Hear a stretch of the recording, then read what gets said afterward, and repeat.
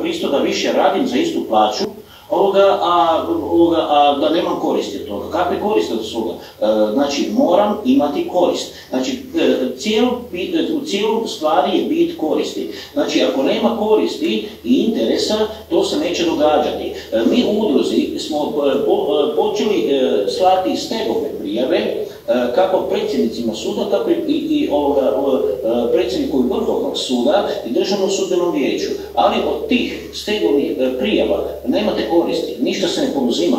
Znači, nema odgovornosti. Znači, ta odgovornost E, znači se jednostavno ne procesuira i što kad recimo kad podnesemo kaznenu prijavu e, e, državnom odvjetništvu, znači da bi sudac, da bi sudac mogao biti kazneno progonjen, on mora dobiti, mora biti skinuto njegov imunitet od državnog sudbenog vijeća.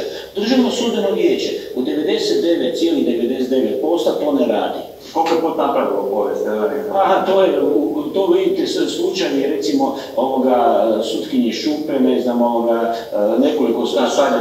to aktualno. To je aktualno, pa ovoga, to, to je tolika rijetkost da se može nabrojiti na prste ovoga dvije ruke koliko je to u zadnjih godina uopće ovoga izvršeno, iako recimo mi šaljemo ovoga, ali vidimo da toga nema odjeka. Pardon, mislim da se radi, mislim da se radi o promilima ne po stocima, nego o promilima. Promilima, točno. Znači, jedan naprema tisuću, ne jedan, jedan na sto, nego jedan na tisuću. Dakle, to je potpuno, e, potpuno zanemariv statistički podatak. A e, kad, je već, kad ste već otvorili tu temu ovaj, o odgovornosti sudaca, e, ne znam da li znate, vjerojatno nisi toliko na, na sudovima, pa na, na svu sreću, nemoguće je maknuti suca sa vašeg predmeta, bez obzira što e, primjećuješ da, da on dobro ne vodi predmet i da, da tvoj slučaj ide u, u, cilju da ćeš izgubiti. Mi ga ne možemo maknuti. Tako da me... Točno, konkretno, recimo za taj, za, taj, za taj način da bi maknuli suca sa nekog predmeta, e, postoji e, ovoga, procesna ovoga, pretpostavka zahtjev za izuzeće suca. Ali, taj zahtjev za izuzeće suca, znači može s njima propisan u zakonu, zbog čega se može iz apsolutnih razloga iz relativnih razloga e, sudac ovoga e, e, riješiti sudačke dužnosti, ali to se u pravilu, u pravilu se to ne dešava jer ovoga po onom principu vrana vrani oko ne kopa, a zakonom je propisan, sad slušajte, to je jako bitno, zbog sumnje u nepristranost se treba ovoga sudac izuzeti. E, postoji ovoga e, e, jedan znanstveni rad profesora Dike, emeritusa, koji, koji to detaljno obrazlaže. Koji detaljno to obrazlaže, ali suci i predsjednici sudova na našim sudovima toga se ne drže. Ja sam recimo uspio ovoga dobiti tri izuzeća suca, ovoga, i to od iste predsjednice suda, e, ovoga, dok je bila predsjednica suda e, u Novom Zagrebu, e, sutkinja Ivana Mačić, jedna izuzetno korektna i profesionalna sutkinja, takvih ima u našem pravosudnom sustavu i kad mi, kad mi ovoga, vidimo, pošto smo često kao javnost na ročištima, ima sastanke sa predsjednicima sudova i čak sa predsjednikom Vrhovnog suda i kad vidimo takvog suca, mi ga i pohvalimo jer nam je doista ovoga stalo da naše, u našem pravosuđu sude pošteni, pravedni suci koji prošteno i pravedno e, rješavaju te e, stvari i da se taj pravosudni sustav ne sroza totalno, ali ovo što se danas događa, doista ovoga se taj pravosudni e, sustav toliko urušio da vi danas, kao što je Turudić rekao, danas na kriv, ovoga, krivi može biti ovoga oslobođen,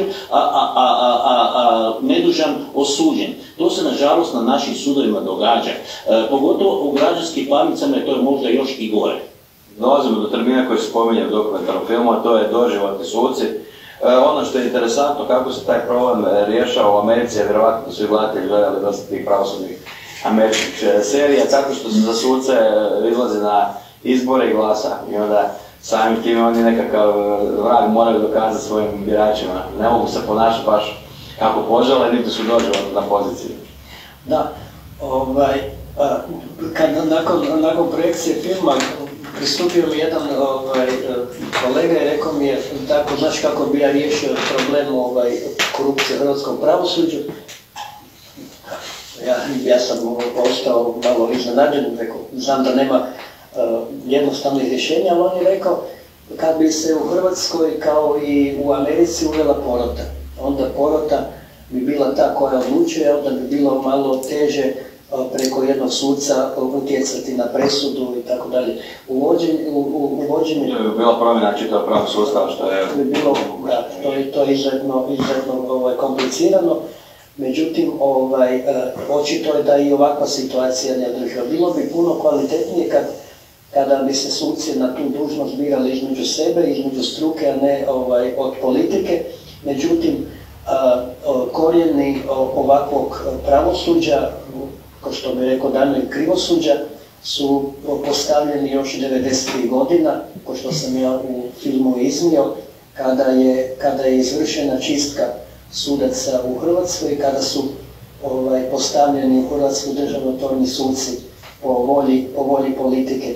Nažalost, sudovi su danas postali mjesto, jedna institucija za legalizaciju kriminala i korupcije i bilo koji slučaj prije kasnije dođe na sud i onda taj sud proglasi da li je neko lopov ili nije. Moram reći da e, hrvatski sudovi, hrvatsko pravosuđe nije sankcioniralo brojne e, e, ratno-profiterske zločine iz domovinskog rata, bilo da se radi o, ratnim profiterima ili o ratnim zločinima, to jednostavno drugo legalizirali su pljačku u pretvorbi i privatizaciji. E, to su dva najveća trenutno grijeha hrvatskog pravosuđa i ja i vjerojatno generacije koje dolaze to nećemo nikad oprostiti. E, spominje se nešto Jugoslavija, politički procesi montirani su ono što je prava asocijacija Jugoslavensko pravosuđe. Okay, I onda kad spojimo e, te dvije elementa hrvatskog pravosuđe koje je legaliziralo 90. pretvorbizaciju i politički procese iz 70 80-ih, Okay. Dobiva se jedan prilični kaos pravosuđa. Ok, ovako, dakle, moramo se složiti time da je pravosuđe i u socijalizmu prije 90. godina i sada bilo pod određenim uh, političkim utjecajem.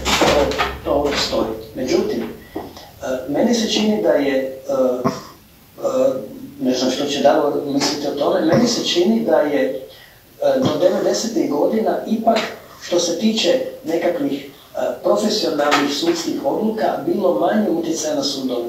Sudovi su bili pod političkim utjecajem ukoliko se radilo o zaštiti ustavnog poredka, znači ukoliko se radilo o onom verbalnom deliktu, ukoliko se radilo o vrijeđanju političara, komunista i tako dalje, onda su tu sudovi bili dosta, dosta ovaj, rigorozni u kaznima. Međutim, ukoliko se radilo o nekakvim kaznenim predmetima iz kaznenog zakona ili zakona o obveznim odnosima ili, ili iz nekakvog drugog područja, područja prava, tu su suci bili, vjerujem, pošteni nego danas. A da, vjerovatno bi dobili nekakvu veću kaznu nego danas, kako se kaže kolokvijalno, zato što na golom otoku, ako bi... Definitivno, da, da. I osim toga, ovaj, ne, možda će mi neko zamjeriti, ne, o, u socijalizmu je vrijedila smrtna kazna, ona je, ona je danas ukinuta, ona se vrlo rijetko primjenjivala, međutim bila je jedna, bila jedna izuzetno ozbiljna prijetnja za sve prijestupnike, pogotovo ukoliko neko izvrši nekakav zločin iz koristoljublja ili više, više struko ubojstvo ili nešto slično, on zna da danas neće biti osuđen na smrt, nego eventualno doživotni zatvor ili, ili nešto drugo. To je isto tako dalo dalo e, zamaha o ovakvom kriminalu koji je, koji je trenutno prisutan u Hrvatskoj, koji se ne sankcionira, već ovaj, se on prepušta ovom pravosuđu koje je, koje je izgubilo svaki kredibilitet. Ja vjerujem da je to medicinskim rječnikom jedna, jedno bolesno, bolesno pravosuđe koje, koje treba zbilja riješiti sa ozbiljnim reformama. I tu je treće, a to su 2010. predstečaj nagodbe, i e, dosta su puta to u dokumentaciji spominje da je to upravo to pravosudno povjerenje jedan od motiva odlaska ljudi u Iršku i Njemačku recimo. Gledajte, mladi ljudi e, sve češće na ovoga, mi dobivamo takve informacije da zbog nesigurnosti pravne države, da zbog nesigurnosti toga jer ne znaju što će im se dogoditi, kad vide isto što se događa njihovim roditeljima, susjedima, su da skupa jednostavno e, ne žele, ne žele više u takvoj, u takvoj državi, ne, gledati, ne žele patiti e, i povlačiti se po sudovima toliko godina, uzmu kofer u ruke, kofer u ruke napune i odlaze, odlaze ovoga e, u Irsku, e, u Njemačku, u Nizozemsku i skandinavske zemlje e, gdje mogu ovoga od svog rada pošteno živjeti, ali e, druga stvar, e, da jednostavno odlaze, odlaze u uređenu državu, gdje pravna država funkcionira, gdje nema, gdje nema takvih ovoga proble- problema da on ako radi pošteno, da ga netko može ovoga i da mu ne može se dogoditi čak i ovrha za nešto što nije krivo. To se kod nas često događa. E, Pa gledajte, uzmite primjer, recimo evo danas je bio e, ovaj nedugo u subotu je bio prosvjed udruge Franak, pa one RBA zadruge, pa e, različite ovoga, one e, kreditne institucije koje su, koje su, koje ovršavali su, ljudima se oduzimaju imovina, imovina, teško. Hipoteka u nekim hipotekarnim kreditima, više od 100% e, ovrhe našeg duga i tako. Posto ima i po 300, 400. No kažem, da, ima i po 10 tisuća posto. Ovaj, To je grozno, gro- grozno, ljudi otplate sve ono što treba, što je dogovoreno. I onda je na kraju još sjednu na nekretninu, uzme još i nekretninu. Mislim, ljudi, e, ima, ima slučajeva da su se ljudi, čak su se ubijali. I onda imamo predstečaj nagodbu gdje se nekim velikim dužnicima oprosti. Naravno, naravno, 10 kuna. ako ste neko, ako ste neko, neko ime, ne samo s predstečajnoj nagodbi, to se događa u poreznoj upravi. E, Jednostavno se, e, nekim ljudima se, nekim ljudima se ovoga, opraštaju ogromne iznosi, ja sam baš bio jučer na jednom razgovoru e, gdje su jednostavno smuljali, smuljali ovoga e, e, da se, da se e, za ono vrijeme kad nema, nema, e, nema ovoga upisane djelatnosti, e, e, e, oni su donijeli neka pogrešne isprave, na, na- nakon toga nešto otpisuju, pa ponovno ovoga, znači nema duga, pa ponovno taj dug ponovno staviti.